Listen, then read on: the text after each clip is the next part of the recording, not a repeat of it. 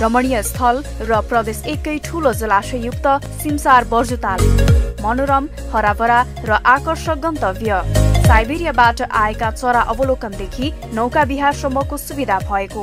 खुला र प्राकृतिक वातावरणमा पिकनिकको मजा लिन सकिने।